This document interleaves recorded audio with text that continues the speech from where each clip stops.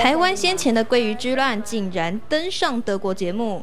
德国益智节目《谁知道这种事》在本月九号播出的内容中，喜剧演员史崔特以及努尔共同答题。其中一题被问到：为了吃到免费寿司大餐，台湾发生了什么事？答案的选项分别有：A. 数千人去闻上寿司刺青；B. 数十人在大米池里游泳；以及 C. 数百人将他们的名字改成鲑鱼。经过讨论之后，两个人决。决定选择 B 选项，数十人在大米池里游泳。